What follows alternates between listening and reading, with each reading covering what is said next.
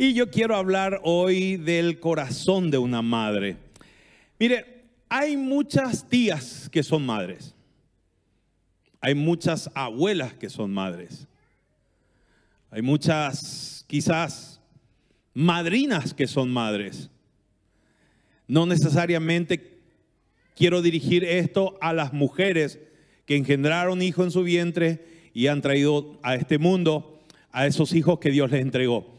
Hay padres que hoy también tienen un corazón de madre. ¿Por qué? Porque han tomado el rol de papá y mamá por circunstancias de la vida. Hoy son verdaderamente papá y mamá. Quizás tíos, abuelos que se convirtieron en qué? En los cuidadores, en los que aman a ese ser que Dios trajo a esta tierra con un propósito. Hay madres de corazón hay quizás también jóvenes que dicen, pero esta palabra no es para mí. Yo todavía ni siquiera pienso ser madre. No, no, no, no te equivoques. Porque todos de alguna manera u otra somos hijos y debemos de valorar y debemos de entender lo que significa el corazón de una madre. Y quizás los hijos hoy podamos recapacitar un poquito y podamos valorar cuando veamos lo que verdaderamente significa el corazón de una madre y todo lo que hace una madre por esos hijos. Y hay muchas veces que los hijos verdaderamente somos ingratos o no respondemos con honra a esa madre que muchos tienen y otros ya no lo tenemos. Pero quiero decirte, ¿y por qué tomé el corazón de una madre? Justamente por esto Podría haber hablado directamente de la madre, pero no. Porque si no, entonces no entrarían en todo este segmento, en todo esto, los padres que son mamás, las tías que son mamás y, todas las que ya lo que he citado, ¿verdad? Entonces, quiero que me acompañe y usted piense en el corazón entonces de una madre. ¿Cómo es el corazón de una madre? Pero antes te pregunto qué son las madres. Nosotros en el, en el adelanto que teníamos de Club 911, ¿qué decían los chicos? Mi madre es la más bondadosa, es la más creativa, es la más buena, es la más, y toda la más, la más, ¿verdad? Pero también si podemos agregar nosotros unas cosas más, ¿qué son las madres? En un hablar cotidiano y de repente haciendo una conversación quizás informal, diríamos que las madres son las maestras de la familia. Podríamos decir que son las madres disciplinarias, las que, las que educan, las que todo el tiempo están con los hijos en la casa. Podríamos decir que son las señoras de la limpieza, ¿verdad? las madres. Podemos decir que son las cocineras. Algunas madres son jardineras. Son las que se encargan inclusive de cortar esas ramas o, o cortar el césped. Son enfermeras son doctoras, son psicólogas, consejeras, son entrenadoras, pero no de profesión. Se convierten en todo esto una madre. No sé si usted me, está acompañando, no sé si usted está entendiendo. Pero cuántas madres que hoy son anónimas quizás frente a la sociedad, pero son ellas. Una verdadera madre, o sea, un corazón de madre es capaz de estar ahí 24/7 sin dormir, sin cerrar un ojo. Cuando un hijo está enfermo, cuando alguien tiene que estar eh, siendo guardado, cuidado, esa fiebre que a veces no quiere, es rebelde por alguna situación, no baja, pero la madre está ahí, no va a parar hasta que su hijo verdaderamente le dé una cierta tranquilidad. ¿Cuántos me están siguiendo? Miren, las madres son hasta a veces se convierte en las taxistas de qué? De la familia. Le lleva a un hijo, le trae, le busca al otro, se va de vuelta al padre, al esposo. Algunas madres se miran, le miran a los hijos, le miran, ¿verdad? Pero es real.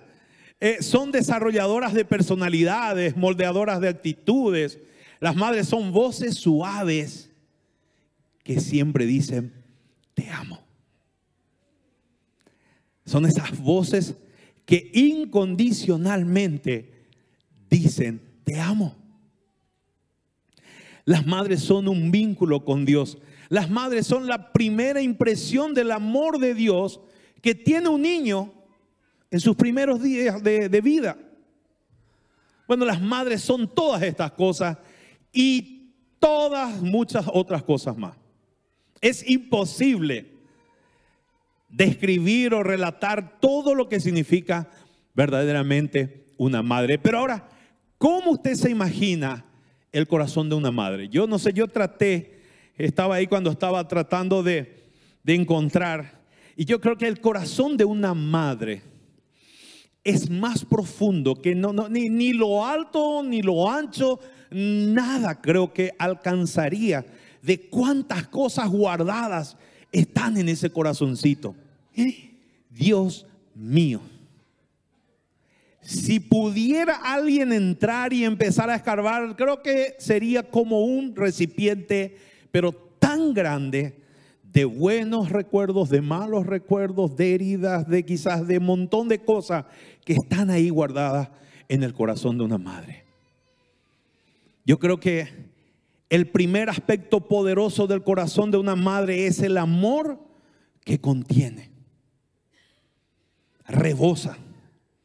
Yo creo que es el lugar donde uno si se lanzara se ahogaría en amor. Ese es el corazón de una madre. Porque no existe ninguna madre, creo que, que no ame a sus hijos. El amor de una madre es profundo. Su amor puede ser emocional, pero es constante al mismo tiempo. El amor de una madre la impulsa a hacer lo mejor para sus hijos. El amor de una madre realmente tiene manos, tiene piernas y en ocasiones hasta alas. Es tremendo. Si usted logra mm, imaginar lo que significa el corazón de una madre, entonces yo quiero que se prepare, porque usted padre, usted hermana, usted hermano, usted tío, tía, usted tiene un corazón de madre también.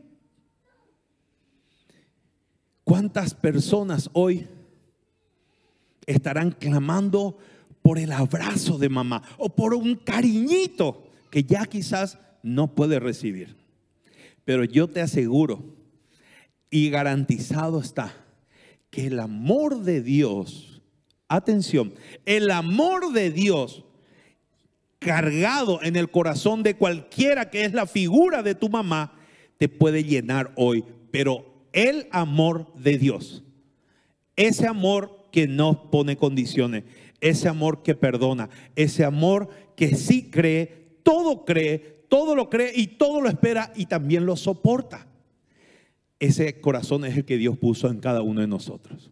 Aunque usted sea un hombre, usted tiene también la capacidad de amar. ¿Por qué? Porque Dios mismo estableció de esa manera su amor. Y si su amor está en su corazón, usted tiene que amar de esa manera. Entonces, quiero llevarle un poquito la Biblia, le voy a dar una tarea, no, yo no voy a leer todo, pero en capítulo 1 de Primera Samuel está la historia de una mujer que es muy conocida y que usted quizás ha leído y ha escuchado mucho de ella. Es Ana, una mujer que era una de las esposas de Elcana, que era un sacerdote que también eh, tenía otra esposa. Ana no tenía hijos, la otra esposa de este hombre sí tenía hijos. Ahora miren, la Biblia nos relata la historia de una mujer llamada Ana, de corazón quebrantado, y dice que al no poder concebir un hijo, vivía afligida. Dice, pero aún así se caracterizó por ser temerosa de Dios y de corazón agradecido. ¿Por qué se caracterizó Ana? Por ser temerosa de Dios y de un corazón agradecido. Al poner todas sus cargas ante Dios y dejar sus frustraciones en el altar de Dios, ella halló gracia de Dios. Sí, ella halló gracia de Dios. Finalmente Ana recibió su milagro y en la Biblia literalmente dice de la siguiente manera. Primera Samuel capítulo 1, verso 27 dice, por este niño oraba y Jehová me dio lo que pedí. ¿Cuántas personas hoy están en la situación de Ana? Quizás no específicamente por un hijo. Yo no sé qué tipo de milagro usted está esperando. Yo no sé en qué área de su vida llegó a cerrarse las puertas o la esterilidad no le permitió a usted realmente ver lo que usted quería ver. Ana, sí, su vientre no había concebido un niño. Pero vuelvo a recordar, le voy a hablar del corazón de una madre. Y todos nosotros, de alguna manera u otra, necesitamos de un milagro en algún área de nuestras vidas. Y con eso quiero llevarle a usted a pensar en esto, que Dios conoce, Él examina nuestro interior, Él escucha nuestras oraciones y cumple inclusive los anhelos de nuestro corazón. Ahora, ¿cuánto más no responderá acaso el Señor la, la oración de una madre? con un corazón temeroso y agradecido. Ana era característica de ella que era una temerosa de Dios y tenía un corazón agradecido. Creo que una de las de los nutrientes de la esterilidad o lo que alimenta la esterilidad y no da vida o algo, sabe que es la mala, eh, eh, eh, la, la ingratitud, el no ser agradecido. Hay muchos que en vez de alabar a Dios, se quejan de Dios. Esta mujer tenía toda la razón para quejarse de Dios y ni siquiera acercarse a su altar y mucho menos buscar a Dios. Y muchas veces las pruebas difíciles que vivimos nosotros en esta vida o nos acercan totalmente a Dios o verdaderamente nos aleja de Él. Pero Ana, Ana verdaderamente tomó la decisión de ser una mujer adoradora. Ella adoraba al Señor. Antes, durante y después de su pedido, de su oración, de su espera, Ana nunca dejó de adorar. Mirad al que está cerca tuyo y decirle, no dejes de adorar a Dios, decirle. No dejes de adorar a Dios, por favor sea el área que esté esperando el milagro de Dios, Dios lo puede hacer. Miren, ¿cómo es el corazón de una madre? Primero, el corazón de una madre es conforme al corazón de Dios. Entonces, yo primero le llevo a todos a que se metan, a que todos podemos tener un corazón de madre, pero aquellas mujeres que verdaderamente se identifican con lo que quiero compartir, usted tome y los demás tomemos también nuestra parte, porque hoy te quiero dejar con que para Dios nada es imposible. Si Dios lo permite, él lo puede hacer, aunque el diagnóstico, aunque tu situación, aunque el pasado, aunque lo que venga o lo que esté delante de ti, para Dios no existe cosa imposible. Para Él todo es posible. Y dice, que es la vida de una mujer, perdón, de una madre, ¿sí? Que es conforme al corazón de Dios, está llena de valores y principios de acuerdo a la palabra de Dios. Con su ejemplo enseña a sus hijos el camino correcto y fomenta el temor de Dios, para que cuando estos crezcan sean personas de bien. Un corazón conforme al corazón de Dios es esforzada, es valiente, trabaja incansablemente por el bienestar de su familia, de tal forma que el corazón de su marido e hijos están confiados. Yo no sé si a usted le pasa lo mismo, pero yo no sé de dónde saca mi esposa la fuerza muchas veces. Cuando usted ve a una mujer, a una madre que dice yo soy ama de casa, como diciendo que no tiene trabajo. Pero es la mujer con un corazón conforme al, de Dios es la primera que se levanta en la casa, es la que enciende todas las luces, es la que pone en acción todas las, cosas que hay en casa, es la que enciende el lavarropa, el secarropa, el que la plancha, todo, la que ve el uniforme de los hijos, es la que prepara el alimento, es aquella mujer la que ordena mientras va pasando a su paso, ya va llevando cada cosa a su, a su lugar, es aquella mujer que no para, es la que deja la casa así como usted quiere ver es ella, es la mujer. Es aquella que no sabes de dónde saca la fuerza, que prepara la comida, luego junta, es la que también lava, la que limpia, de vuelta a la tarde, noche, es la última que quizás va de vuelta a apagar las luces de ese hogar. ¿Sabes qué? Y decir, ¿de dónde saca todas las fuerzas esta mujer? No sé si a usted nomás, a mí no me pasa, pero yo a Nancy le tengo que atar con una soga para que se quede en una parte. No puede. Y bueno, ahí sus hijas están también a su lado, pero ella no para. Así es que, por eso decía en la primera celebración, me gozo cuando estamos por las rutas y viajamos, ¿verdad? A servirle al Señor en algún lugar, porque ahí en ese lugar no puede escaparse, tiene que estar sentada a mi lado y no le queda otra. sí, porque si no en casa ella, cero. Mi lenguaje de amor, mi tanque emocional ahí está medio en reserva.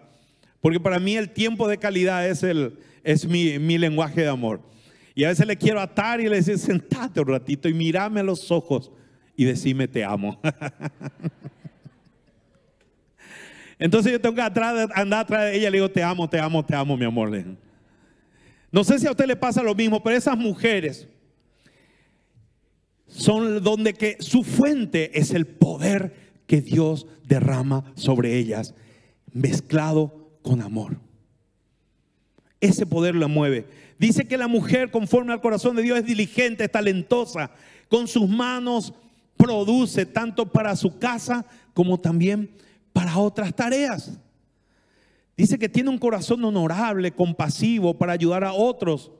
Sí, no solamente se basa en la necesidad de su gente, de sus hijos, sino también alarga sus manos al otro. Dice en Proverbios 31, 20, dice, alarga su mano al pobre y extiende su mano al menesteroso.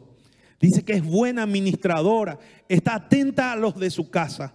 Reconoce que la belleza física es vana, engañosa y pasajera, mas la belleza interior la lleva a ser alabada. Proverbios 31, 30 dice, engañosa es la gracia y vana la hermosura. La mujer que teme a Jehová, esa será alabada. Y esa es, ese es el tipo de corazón de una madre, conforme al corazón de Dios. Si usted está notando el segundo punto, el corazón de una madre está lleno de fe. Y acá yo quiero que usted preste atención. Ya le dije que le iba a dar tarea, que lea usted todo el capítulo 1 y bueno, y siga con el 2 y con el 3 de Primera Samuel. Pero ¿qué dice? Yo voy a ir saltando los versículos. Tengo resaltado aquí y dice, por ejemplo, versículo 4. Y cuando llegaba el día en que el Cana ofrecía sacrificio, daba a Penina su mujer, que es la otra mujer del Cana, sí, la que tenía hijos, y dice que a todos sus hijos y a todas sus hijas, a cada uno su parte. Pero a Ana daba una parte escogida porque amaba a Ana, aunque Jehová no le había concedido tener hijos. Y su rival irritaba, enojándola y entristeciéndola porque Jehová no le había concedido tener hijos. Bueno, así hacía cada año cuando subía a la casa de Jehová. La irritaba así, por lo cual Ana lloraba y no comía. Miren, Ana, aún en medio de su aflicción, aún en medio de no tener lo que anhelaba, ella subía a ofrecer sacrificio. Ahí viene el punto. Que una madre conforme al corazón de Dios también es una madre con un corazón lleno de fe. Aunque usted no vea o no toque, aunque usted no tenga ni siquiera rastro de lo que usted está esperando, igual debe seguir subiendo a la presencia del Señor. Usted no debe retrasar. Aunque muchos se burlen, aunque muchos le señalen, aunque todos estén atentos y tratándola quizás de menoscabarla a usted, usted debe acudir a la presencia de Dios y decida dar adoración al Señor así en el estado en que usted está. Si usted tiene fe, Dios lo va a hacer en el momento que a Él le parezca que usted está preparado para recibir el gran milagro. Y mire, sigue diciendo versículo 11, e hizo voto diciendo Jehová de los ejércitos, si te dignares mirar a la aflicción de tu sierva y te acordares de mí y no te olvidares de tu sierva, sino que dieres a tu sierva un hijo varón, yo lo dedicaré a Jehová todos los días de su vida y no pasará navaja sobre su cabeza. El clamor y la fe de Ana activaron el más grande milagro. ¿Qué fue lo que pasó en el vientre de, de, Ana? Fue renovado y Dios le concedió un hijo. Y dice que aquí es donde nosotros vemos la grandeza de la fe de esta mujer. ¿Por qué? Porque Ana anticipadamente había tomado la decisión, ¿sí? Que revelaba su amor y pasión por su Señor. Muchos de nosotros debemos de tomar la actitud de Ana. Porque muchos de nosotros condicionamos nuestra vida en rendición a Dios por lo que Él nos da. Y si usted determina adorar al Señor teniendo o no teniendo su respuesta, usted va a provocar el milagro cuanto menos usted espere. A nosotros nos toca amar a Dios por encima de nuestras circunstancias. No te olvides, y hablando de eso, de no te olvides, ahora recuerdo que hoy hace específicamente un año que esperaba, empezaba un proceso que no sabíamos cómo íbamos a terminar con mi amada esposa Nancy. El año pasado, el 14 de mayo, estando por las calles de Posada, empieza un sangrado por su nariz sin saber lo que se venía en todo ese proceso. Pero ella, en su peor momento, Nancy, cuando todo era estéril, cuando la sombra y la oscuridad le envolvía, recibió una frase en medio de una noche, en la madrugada más dolorosa, en el momento menos feliz. Dios le hablaba a su oído diciéndole que tus circunstancias no cambian quién es Dios. Quién es Dios para ti cambian tus circunstancias.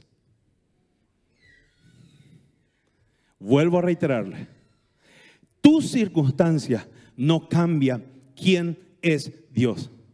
Quién es Dios para vos cambia tus circunstancias. ¿Me está siguiendo? Usted determine adorar al Señor.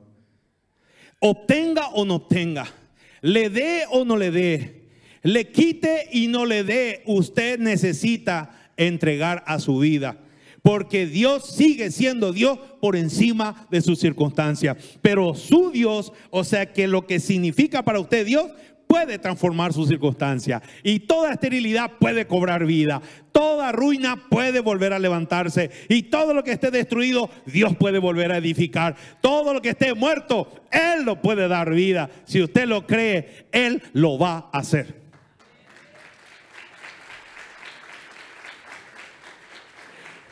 Porque Él es Dios de vida. Ana consagró a su hijo. Miren, ella no quería un hijo solo para cubrir su vergüenza. Ella no quería un hijo para taparle la boca a toda encarnación. No. Porque están algunos que dicen, mm, cuando Dios me dé, esperando más. ¿Verdad? Estás ahí, le voy a mostrar primerito a mi suegra, lo me voy a ir, ¿verdad? Algunos ya, su suegra, su suegro, su, y a doña María de la, del barrio, ya le voy a refregar por la cara. No, ¿sabes que Ana no tenía esa motivación? ¿Sabes cuál fue la motivación de Ana? No era cubrir su vergüenza, era que Dios le dé un hijo, pero para que ella le consagre para su uso exclusivo en su reino. Ella quería para glorificar a Dios. La pregunta es, ¿para qué estás buscando lo que estás buscando? ¿Para qué le estás pidiendo a Dios lo que le estás pidiendo a Dios? ¿Es para vos? ¿Es para mostrar a la gente? ¿Para que todo el mundo te vea? ¿O es para que el reino de Dios avance? ¿Para que el reino de Dios se establezca aquí en Encarnación, en Paraguay y en el mundo? ¿Para qué estás pidiendo lo que pedís? Quizás el proyecto de la empresa más grande que tengas estará ahí quizás en, en la lista de espera. Porque Dios está acomodando tu corazón para que convertirte en el empresario más próspero de esta tierra. Pero si eso va a ser y va a ser para que su reino avance, prepárate, porque no vas a poder contener el milagro que provoca cuando uno cree, pero también con la motivación correcta. Ana quiso glorificar el nombre del Señor. Ana consagró a su hijo Samuel como un nazareo para Dios, con el resultado de que el hijo por quien oraba y lloraba se constituyó en el hombre más grande que había tenido Israel después de un Abraham y un Moisés. Tremendo. De ese hombre se dijo que nunca dejó caer en tierra ninguna de las palabras que recibió y todo Israel supo que él fue un fiel profeta de Dios. ¿Cómo te queda esto que vos como Ana le hayas creído y que le hayas dicho al Señor, no importa, yo vengo a adorarte. No importa, Señor. Para mí mi circunstancia no termina quién sos vos. Para mí vos sos mi Dios. Y yo te creo, y yo te amo, y yo te temo, y yo sigo adorándote. Me des o no me des. Pero te quiero advertir algo, Señor. No quiero para mí, quiero para vos. Así es que lo que vos me des va a ser solamente para vos. El cielo se pone en acción y dice, rápido, vengan a todos los serafines, a todos los ángeles, a todos, ponen acción para que se concrete. Usted dice, de repente, ¡pum!, aparece algo. ¿Y este qué pasó con este? ¿Cuándo Dios hizo esto? Si este estaba totalmente destruido. ¿Saben qué? Si tu esperanza está puesta aquí en la tierra, y no tiene nada que ver el dueño de esta tierra, vas a seguir esperando. Pero si Dios está de por medio, Él va a usar a los hombres de esta tierra para hacer que lo que pasa en el cielo se cumpla también en tu vida, utilizando a los hombres de esta tierra. Pero tú, tu fe tiene que estar puesta en el Señor y no aquí en la tierra. Miren lo que dice en 1 Samuel 3, 19, 20. Y Samuel creció y Jehová estaba con él y no dejó caer a tierra ninguna de sus palabras. Y todo Israel, desde Dan hasta Berseba, conoció que Samuel era fiel profeta de Jehová. Y aquí viene esto. Hay muchas mujeres y hay muchos hombres con un corazón conforme al corazón de Dios, que son anónimos. Pero solo el Señor quizás le permitió, entre comillas, como muchos dicen, solamente ser una persona que cuida hijos, pero no trabaja, no tiene profesión, no tiene. Quizá usted no tenga estatus en la sociedad, quizá usted no tiene quizás presencia, usted no es pública, usted no es famosa, pero déjeme decir, que usted quizás en su casa tiene al profeta más grande que tiene esta tierra y que necesita y que Dios le entregó a usted para poder guiar. Quizá usted tenga en su, en su casa a los hijos que Dios envió para conquistar el mundo por medio del Evangelio. Quizá aquí está el presidente de la República. Quizá está el mejor administrador de esta tierra, pero está en su casa, está en sus manos. Y quizá usted dice, pero yo no soy. Deje de mirar o deje de querer mostrar a otro, es el momento en que usted sepa de que nada de lo que Dios le entregó, le entregó sin propósito. Hay un propósito y usted es parte. Usted es parte. Usted va a extender. Mire a sus hijos como Dios lo ve. Ahí a lo mejor está llegando al amanecer y todo descarriado y hasta inclusive viene como dibujando, ¿verdad? Algunos dibujos por la tierra, pero ahí viene el profeta de Dios en el nombre de Jesús, embriagado del Espíritu Santo. Yo declaro que pronto esos pies conquistarán el mundo, pero declare, mírelo como lo ve el Señor. Esa es una mujer llena de fe, sí, un corazón de una madre llena de fe. Y la última, el tercero, el corazón de una mujer persevera, no se rinde. Y les voy a llevar rápidamente a recordar nada más el pasaje, pero le doy tarea. Mateo 15, 21 al 28. Usted lea que ahí está la historia de la mujer cananea. Aquella mujer que cuando Jesús venía entrando a una ciudad que está próxima a Galilea, dice que esa ciudad, la patria de Jesús, donde él realmente creció, ese lugar estaba contaminado por costumbres de las naciones vecinas. Y por eso dice que esta mujer, aún sin ser judía, sin ser la beneficiada de lo que Jesús venía a otorgar aquí en la tierra, ella se acercó a Jesús para pedir por su hija.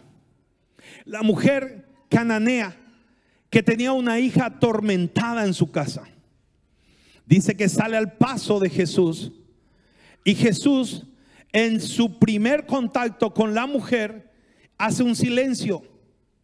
Ella le pide, por favor, le pide que le atienda. Al acercarse dice que a Jesús esta mujer estaba cometiendo un acto impropio para la gente de su época. Dice que en el mundo antiguo, como también en algunas culturas de hoy, dice que se le prohibía a la mujer hablar en público.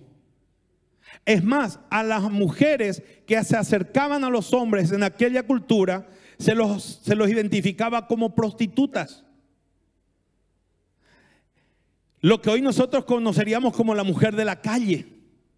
Por eso es que esta mujer causó y marcó en la historia bíblica un precedente de que a ella no le importó todo lo que pudiera acarrear aquella acción que ella hizo para tocar a Jesús o acercarse a, tener una respuesta de Jesús, pero era buscando el bien de su hija. Y una mujer con, un, una madre con un corazón conforme al de Dios no se rinde, persevera. ¿Cuántas, ¿Cuántos obstáculos tuvo que pasar esta mujer? Primero el silencio de, de Jesús. Cuando ella le encara, Jesús no le responde. Y ahí empiezan los discípulos diciéndole, hey, Jesús, hoy es 14 de mayo, vinieron a la celebración mucha gente nueva. Hacele callar a esa mujer que grita, ¿verdad? Hacele callar a esa que está molestando, va a interrumpir la celebración, se va a cortar la unción. Así le dijeron los discípulos. Decirle que se calle, porque la mujer gritaba y le gritaba a Jesús. Y así actuamos muchas veces como religiosos, como los discípulos. Queremos que todo esté en orden. No, no, no. Y los discípulos querían que ella deje de pedir. ¿Y cuántos de nosotros también a veces hemos dejado de pedir? ¿Pero por qué? Porque ya no queremos ser el hazme reír de la gente. Ah, ya otra vez, este ya otra vez con su pedido de oración. Hace 10 años que está orando por lo mismo. Acá no se dice así. Y mucho menos en el grupo de oración. No. Está todito registrado ahí la oración. Pero ¿qué tuvo que vencer esta mujer? Aún el rechazo de los discípulos. Ella siguió insistiendo. Y saben, las madres con corazón de Dios, de la iglesia de Dios, son así. No hay nadie que le detenga. Van a seguir golpeando y van a seguir golpeando 24 horas en oración.